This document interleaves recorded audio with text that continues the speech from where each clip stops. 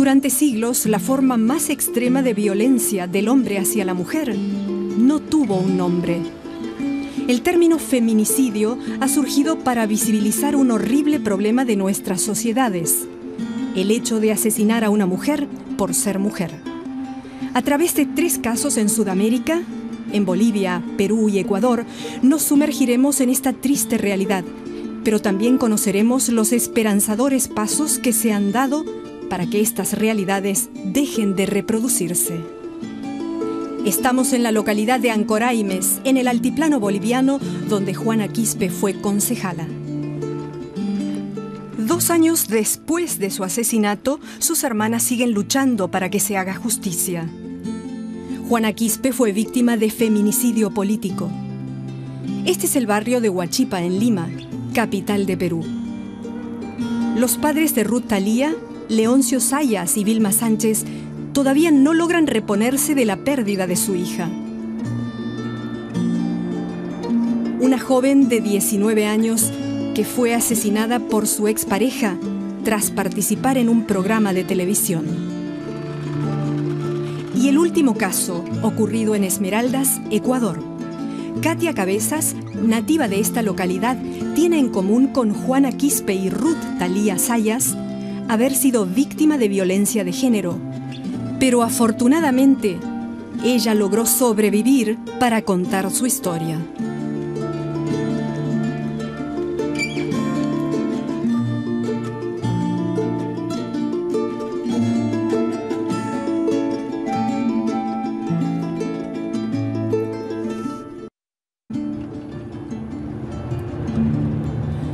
La provincia de Esmeraldas no solo vive de la pesca, sino también de la palma africana y otro tipo de cultivos, labores en las que se utiliza mucho el machete.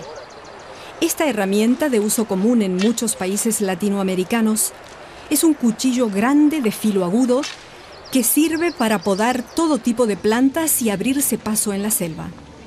Con un machete así, Katia fue atacada por su expareja y perdió su mano derecha. Tras la agresión, se fue a vivir al barrio de su madre con sus dos hijas, Samantha y Angie, y su hijo John. A pesar de la terrible situación que experimentó, ha encontrado la fortaleza para salir adelante con dignidad. Yo con él lo conocía hace siete años. Entonces, el primer mes que los unimos, muy bien muy atento conmigo, trata de negra, amor, Katy, así. Yo quería, estaba lavando platos, él me ayudaba a lavar platos, a guindar ropa, así. ¿Para qué? Me confundí prácticamente. Después del mes supe que él jugaba naipe. Y a mí no me gusta el hombre que juegue naipe ni, ni tenga así entonces yo le dije que fuera dejando el naipe porque no me gustaba. Él me lo prometió que sí lo iba a dejar, pero no lo dejó nunca. Como él nunca iba a dejar el vicio, yo no iba a poder seguir con él. Entonces él me contestó que yo lo estaba era dejando por otro hombre. Y le dije, yo no te dejo por ningún otro hombre, sino que ya no quiero convivir contigo, porque tú no vas a dejar el vicio. Empezó a decirme palabras, que yo era así, eran esas palabras vulgares. Ya fue cosa que él se fue de la casa, eso como a las 8 de la noche. Ya cuando él vino a hacer lo que iba a hacer, que iba a matarme, ya eran las 12 y media de la noche. Es cuando sentí que él ya empezó a, a tirarme piedra a la casa, a dañarme la puerta. Yo me encontraba sola en el momento porque mis hijos me habían pedido permiso para venir acá donde mi mami. Entonces yo agarré el teléfono y empecé a marcar a la policía. Fue cuando él ya ingresó a la casa y me agarró a golpe. Me llevó a rastra por aquí hasta allá. De allá cuando ya llegué, me jalaba, me daba con el machete. Ahí fue cuando yo traté de correr ingresar a la casa vuelta. Y ahí cuando él me voló la mano, pues fue aquí, en este medio. después que me voló la mano fue cuando él ya corrió con el machete. Y ahí yo gritaba, entré al cuarto, agarré una sábana y me envolví la herida y salí afuera gritando.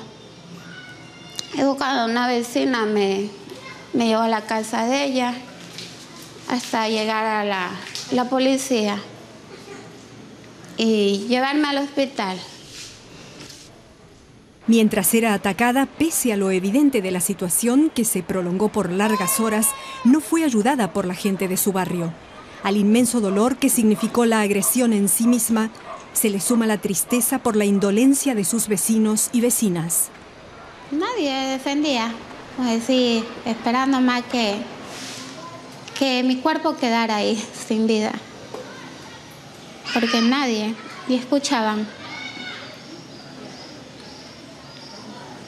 da harta pena y lástima que haya gente todavía así en esta vida que vean matar a otra persona y no nos defiendan para nada.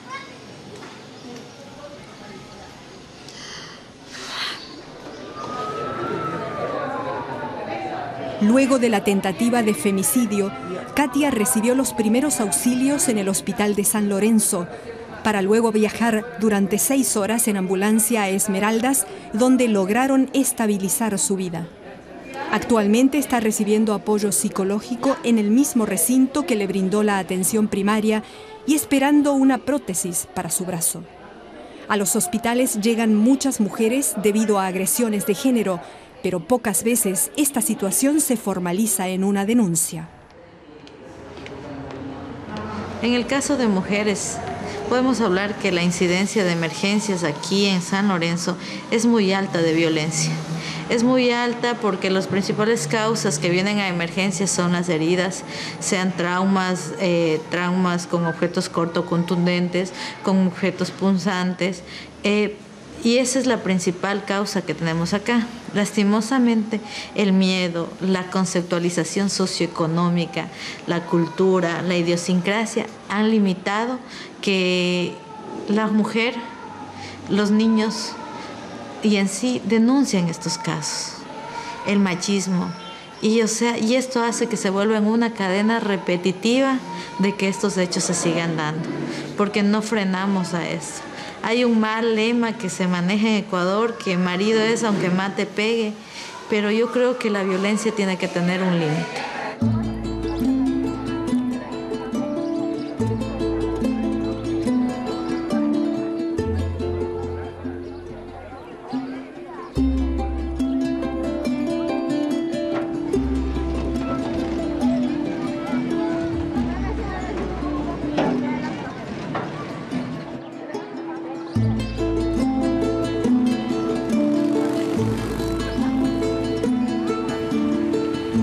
En Lima, Perú, la situación no es muy diferente.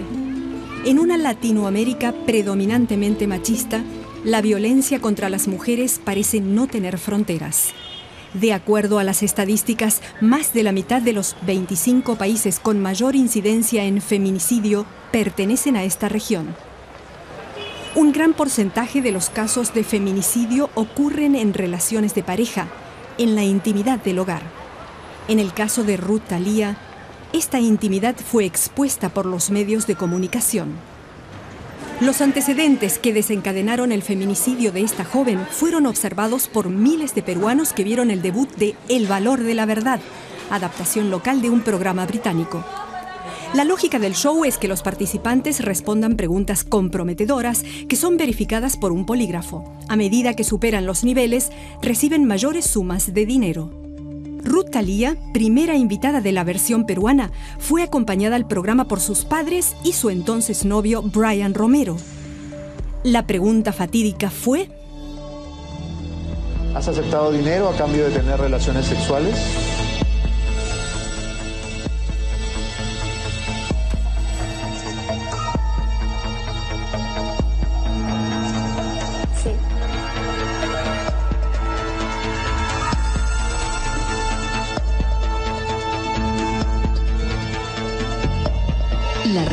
Esta es...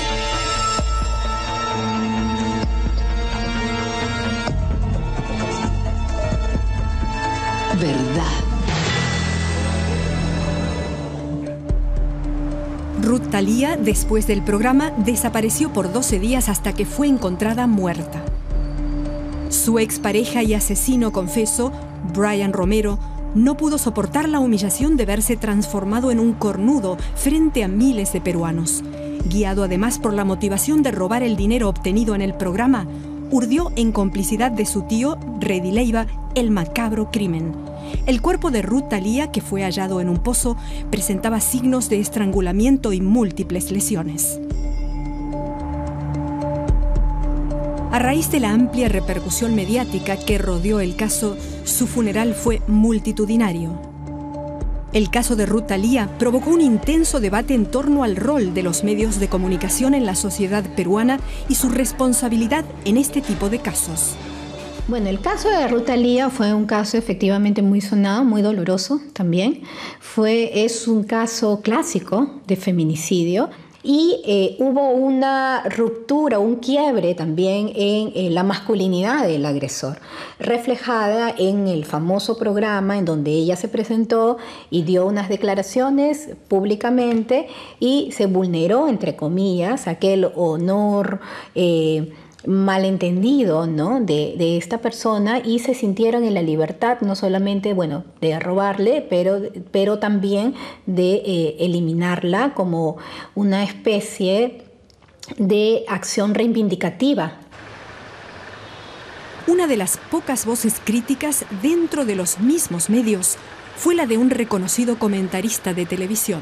Como crítico de televisión, por supuesto que me impactó, me, me preocupó, me, me, me indignó que eh, eh, programas como este tuviesen ese componente pues de reality show, de convertir la realidad en un show y para eso eh, exponer a los protagonistas a que cuenten su vida sin manejar lo que significa ¿no? depositar a millones de televidentes los secretos más íntimos. ¿no? Eso es algo que solo tiene que estar reservado para la gente que es experta en el negocio del entretenimiento, pero que no puede ser entregado a gente común y corriente como Rutalía y como Brian. ¿no?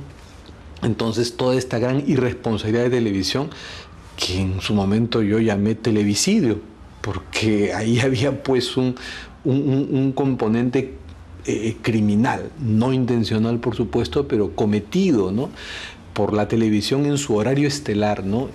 También desde el Estado es importante plantearse el rol de los medios. La pregunta es cuánto se puede regular sin coartar la libertad de expresión. En este caso, yo creo que lo que ha hecho la prensa no es causar la muerte, porque aquí el, causante es el quien asesinó. Lo que ha hecho la prensa es, exacerbar, diríamos, una situación. Es como una especie de crear un factor de riesgo, ¿no? Pero no la causa. Eh, la prensa, los medios de comunicación, en este caso, creo yo, salvo algunas críticas aisladas que hubieron dentro de los medios de comunicación, mm, eh, en general se lavó las manos, ¿no? Siempre la prensa se ha lavado las manos. O sea, consideran que no estamos ni a favor ni en contra según ellos, ¿no? pero en realidad lo que hacen es reproducir lo que son eh, los eh, patrones culturales, ¿verdad? Entonces dicen, nosotros no tenemos que ver o simplemente transmitimos, ¿verdad? Somos neutros, dicen ellos, ¿no? Pero tienen un papel importante, como dije, de reproducir estas creencias, ¿no? Exacerbar estas creencias, ¿no? Entonces, este, ciertamente hay una complicidad social, sigue habiendo una complicidad social y si no rompemos esa complicidad social, este, esto va a continuar. Los medios muchas veces convierten estos sucesos en shows sin reparar en las enormes tragedias humanas que producen estos casos. Perder una hija no tiene nombre. Cuando pierden a su esposo, quedan viudas. Cuando pierden a su madre, quedan huérfanos. Pero cuando uno pierde a su hija, no tiene ni nombre.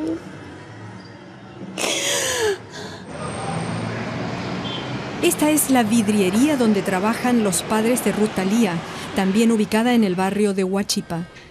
Cuando fueron invitados al programa, jamás imaginaron que esto podía transformar sus vidas para siempre. El dolor que nosotros hemos sufrido no es poco, es grande. Y hasta ahora nosotros seguimos viviendo en esa tormenta, en esa tragedia, que no podemos salir. Estamos encadenados en ese dolor. Por eso, que no repita ya en el, en el mundo, en el, en el país que vivimos, la tragedia que nosotros hemos sufrido. Pero gracias a Dios y las autoridades hemos encontrado el culpable, el culpable confeso que está ahorita en la cárcel y solo nosotros pedimos que la ley que se haga cumplir a pie de la letra. Brian Romero y su tío, Reddy Leiva, en una de las primeras aplicaciones de la ley de feminicidio en Perú, fueron condenados a cadena perpetua. Los medios de comunicación dieron intensa cobertura al desarrollo y desenlace de este caso. A pesar de que ellos nunca podrán recuperar a su hija, al menos tienen la tranquilidad de que los responsables de este crimen están pagando por lo que hicieron.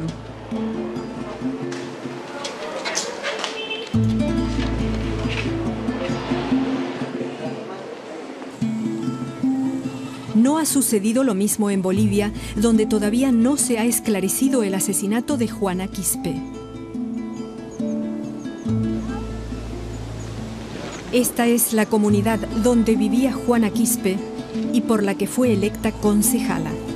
Tras su asesinato, sus hermanas, Margarita y Leandra Quispe, conviven diariamente con el dolor de su pérdida y la impotencia que les produce la impunidad de los responsables.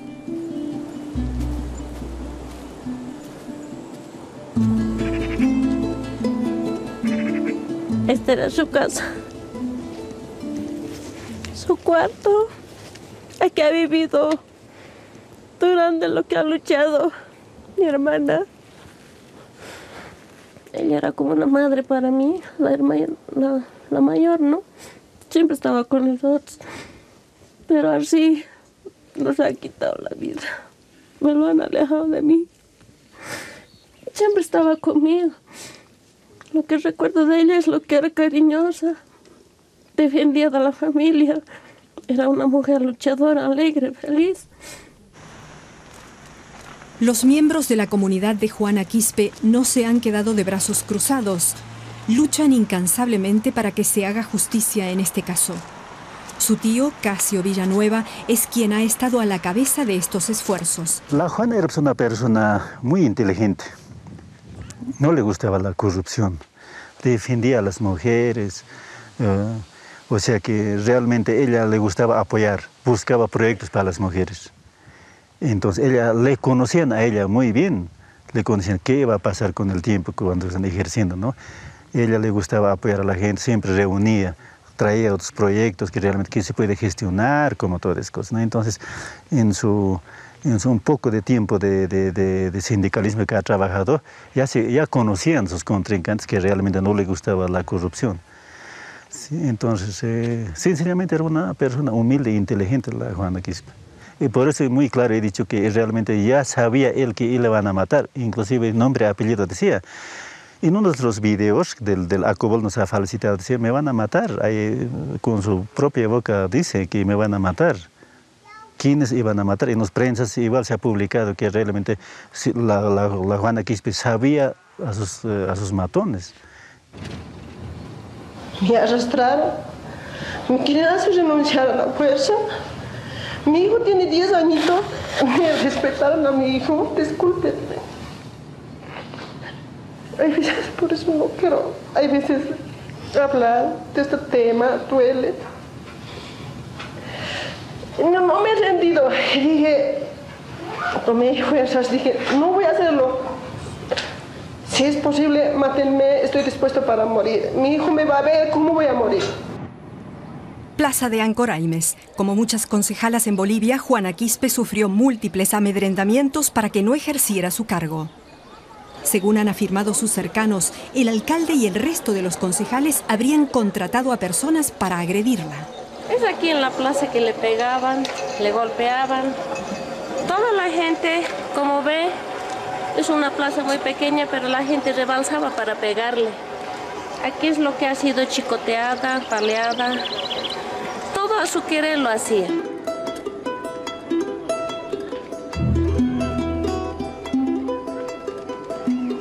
Si bien bajo los gobiernos de Evo Morales se ha incrementado la participación de las mujeres en política, esto también ha generado diversas manifestaciones violentas en su contra. La idiosincrasia machista, profundamente arraigada en la sociedad boliviana, se ha negado a aceptar que las mujeres ejerzan cargos tradicionalmente ocupados por hombres. A pesar de los avances, actualmente cientos de mujeres siguen sufriendo acoso, tal como le aconteció a Juana Quispe. Katy Kauna Villasante, amiga y colega concejala de Juana Quispe, es miembro de ACOBOL, una organización que lucha desde hace años para que las mujeres puedan ejercer sus cargos políticos en igualdad de condiciones. El feminicidio de Juana Quispe fue lo que sensibilizó a los parlamentarios para que finalmente aprobaran la ley 243 contra el acoso político a mujeres. Ella es parte activa de la lucha porque se haga justicia. Lo digo con lágrimas, nos duele cuando una mujer presenta estas denuncias y nosotras no podemos hacer nada porque no somos autoridades competentes. Y nosotros mandábamos como asociación de concejalas del Departamento de la Paz a las autoridades competentes, prácticamente no nos han escuchado, sí las notas se han enviado, no nos han escuchado. Varias notas hemos enviado a la Cámara de Diputados, hemos enviado a la Cámara de Senadores, haciendo conocer la Comisión de Derechos Humanos. Tampoco ha sido, digamos, una respuesta favorable hemos tenido. Estas son las oficinas de Acobol en La Paz, lugar al que acuden las víctimas de acoso político. Actualmente ellos están asesorando a cerca de 200 mujeres que han sufrido este tipo de discriminaciones.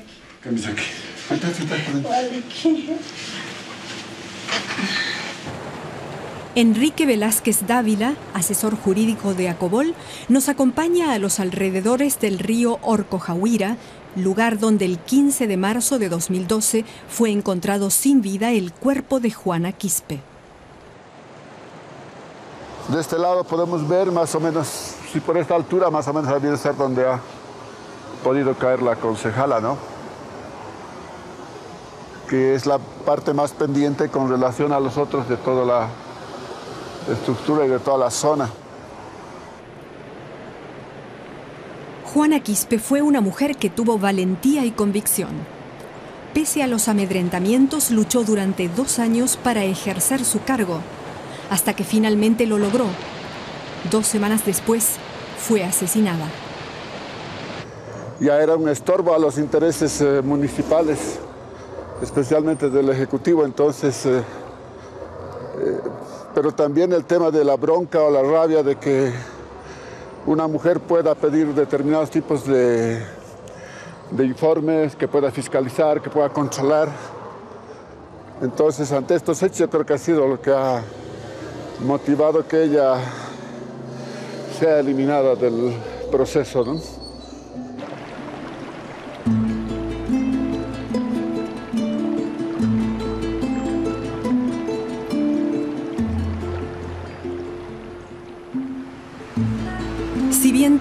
Los testimonios apuntan a que los responsables de la muerte de Juana Quispe lo son también del acoso y la violencia de la que fue víctima, estos delitos se mantienen en la impunidad. En este sentido, su caso se asemeja a miles de crímenes a nivel latinoamericano, de los que, según datos de asociaciones de derechos humanos, un 77% quedan impunes. Sin embargo, el asesinato de Juana Quispe hizo que las autoridades tomaran medidas en un tema que hasta ese entonces les había sido prácticamente indiferente. Eh, la muerte de Juana Quispe ha servido para generar la ley del feminicidio y también la ley del acoso político.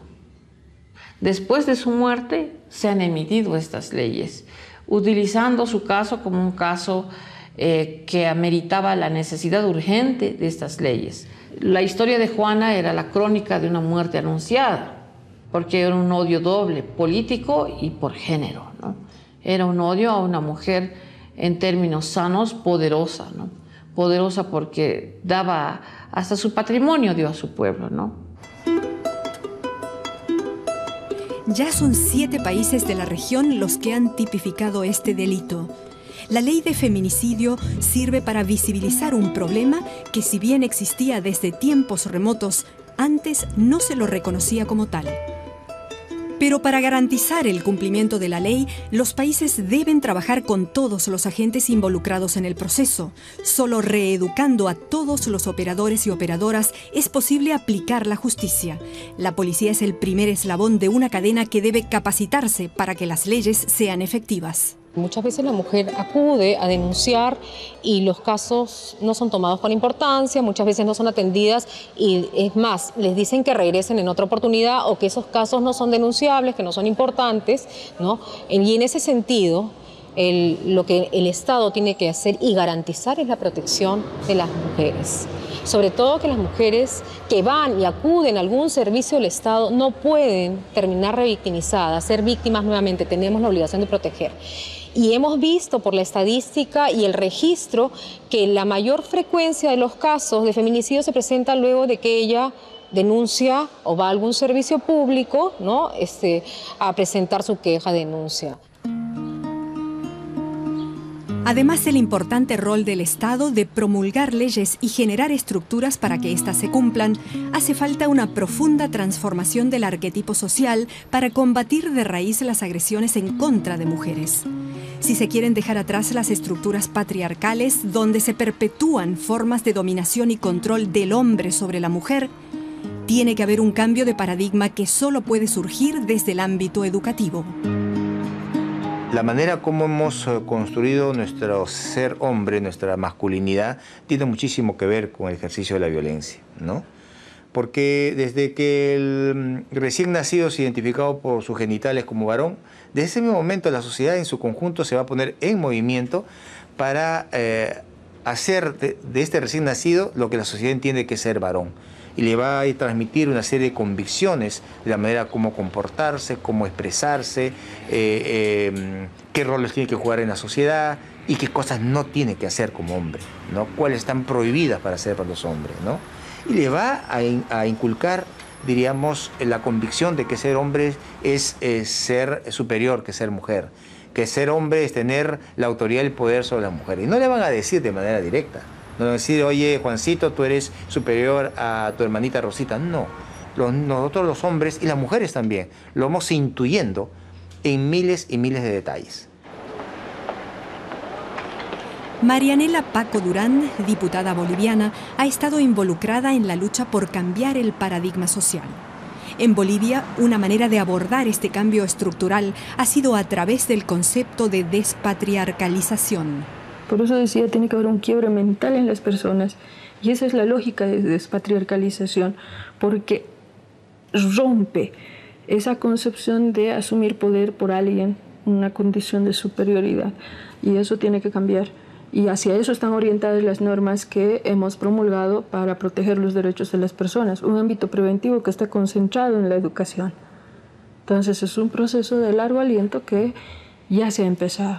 Y lo que toca es continuar que se acelere, pero siguen siendo temas pendientes en tanto y cuanto esos cambios trascendentales que vivimos se materialicen en la cotidianidad, se manifiesten en una relación de igualdad entre todas y todos. Siguiendo la misma lógica del caso boliviano, en Ecuador también se ha estado trabajando para generar un cambio a nivel de la sociedad y su visión de los géneros. Ustedes conocen que incluso todavía existe un machismo y un machismo que no permite ver que las mujeres somos capaces, al igual que los hombres, que nosotras las mujeres aportamos al desarrollo, desarrollo político, social, cultural. Por lo tanto, tenemos derechos y esos derechos es lo que nosotros en estos momentos no, eh, nos hacemos respetar. Y cuando hablamos del respeto es porque damos a conocer dentro de los derechos de la Constitución todas las leyes que nos amparan. Entonces, teniendo estas cosas, ya no podemos permitir que la mujer siga cohibida, sea acoquinada por la gente, sea atropellada por la pareja. Y no solamente por la pareja, porque hasta en el trabajo las mujeres sufrimos acoso sufrimos persecución. Hasta a veces por opinar diferente sufrimos persecución. Y por ello es que nosotros levantamos ahora, todas las mujeres, el autoestima. ¿Por qué tenemos que nosotros permitir este atropello si conocemos nuestros derechos? Si nosotros somos y aportamos a esta sociedad en todos los campos, entonces a esos niveles es que nosotros nos hemos venido organizando.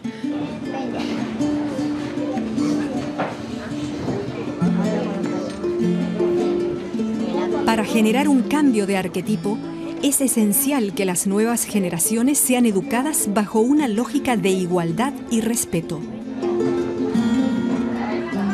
Ahorita no quisiera tener novio porque yo pienso que va a ser lo mismo que le pasó a mi mamá.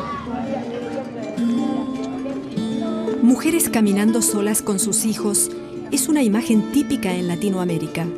En incontables casos, ellas deben asumir todo el peso de la crianza. Como si no bastara con ser víctimas de agresiones por parte de los hombres y hacerse cargo de sus hijos e hijas, deben además llevar la carga económica. Esta desesperanzadora realidad, cargada de violencia y desamparo, se viene reproduciendo de generación en generación. Katia, su hermana y su madre la han vivido. Esperemos que no suceda lo mismo con su hija. Yo quisiera que lo que los ha pasado no le pasen a otra familia o otras compañeras mujeres.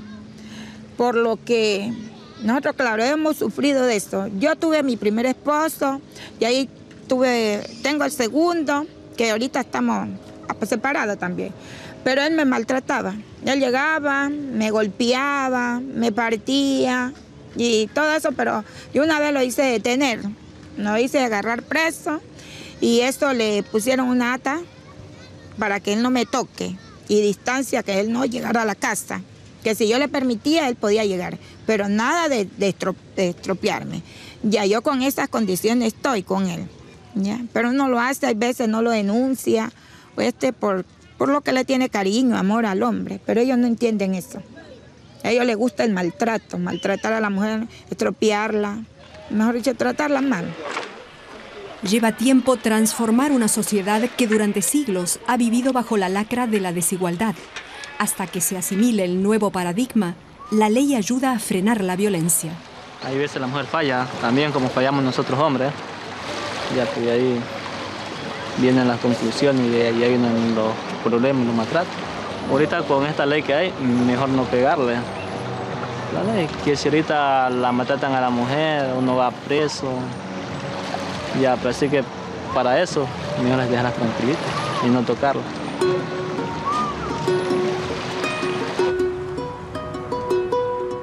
Otro aspecto muy importante es la prevención. Afortunadamente existen mujeres que han decidido empoderarse y ayudar a que el cambio de paradigma se materialice. Eugenia Rodríguez ha trabajado incansablemente y a distintos niveles para que la población de San Lorenzo se concientice en temas de violencia hacia la mujer. Tomándose las calles, ha dirigido la realización de murales que transmiten mensajes educativos a la población. En otro plano, realiza charlas y talleres que tienen como objetivo fundamental interiorizar a las mujeres en sus derechos y enseñarles cómo actuar en casos de violencia. Buenos días, mi nombre es Eugenia Rodríguez, soy jefa de la Unidad de Género del GAM Municipal. Ya nosotros hemos visto todo el video de la campaña que hemos emprendido todas y todos contra el machismo y de la solidaridad que debe haber entre mujeres, ¿no es cierto? Porque el silencio mata porque trabajamos en esa parte, ¿no? que las mujeres conozcan sus derechos, se apropien de ellos y de aquí tenemos que salir a difundir a nuestros sectores. Yo no viví violencia, no la he vivido directamente hacia mí, pero sí mi mamá vivió violencia con los dos compromisos que tuvo. Sí he visto a mi vecina, una vecina al lado, que el marido chuta peor con estropajo, golpes, insultos a los hijos. Entonces todo eso uno lo compromete con las capacitaciones que tengo y poder ayudar a otras mujeres, yo creo que es la satisfacción más grande. Poder ayudar a mujeres que después me digan, Eugenia, me separé y ahorita estoy viviendo una vida, gracias a Dios, ya tranquila.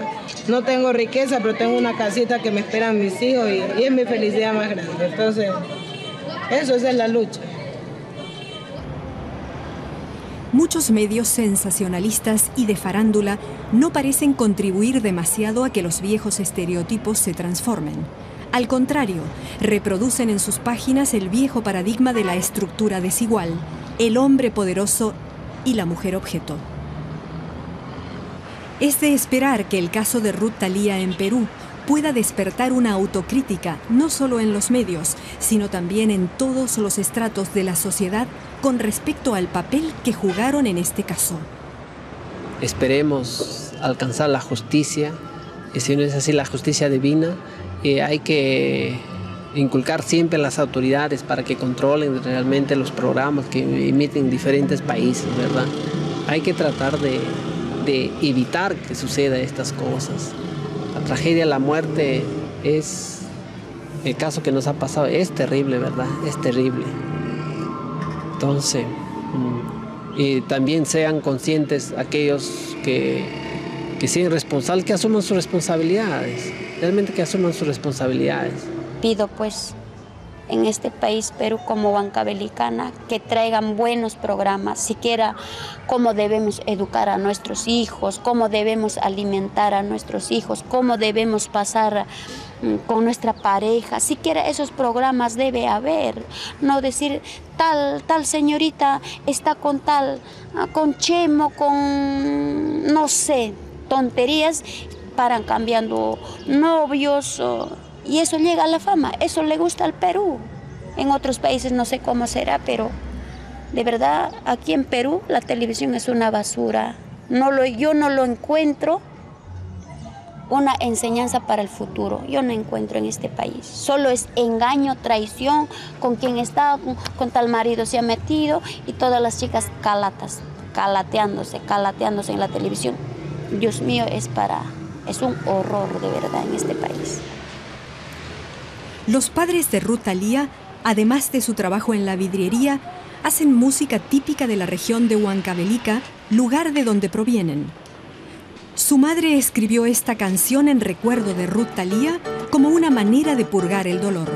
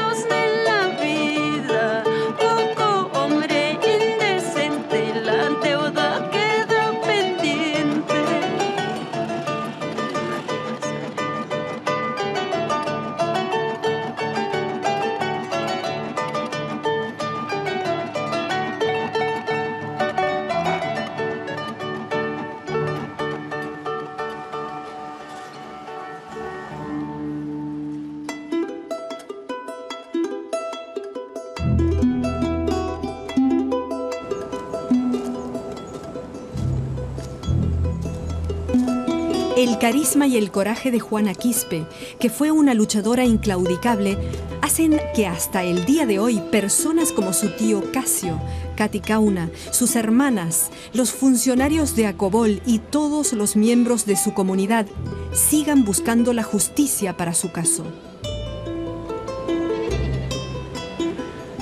Así nomás no, no hay justicia para una mujer de pollera, ¿no? Para una mujer que realmente es de provincia, así hombre, mujer igual. No sé, así es eh, la justicia boliviana, ¿no? Por eso yo voy a, no importa que me cueste el tiempo, pero siempre voy a hacer cumplir la ley. Aparte de que ha sido mi prima sobrina, pero soy activista de los derechos humanos, que se cumpla la ley, nada más. Juana Quispe pagó con su vida la osadía de luchar por los derechos de la mujer. Pero hasta el día de hoy, ya pasados dos años de su muerte, su ejemplo sigue abriendo caminos para que las mujeres en Bolivia lleguen a ser tratadas con justicia, respeto e igualdad.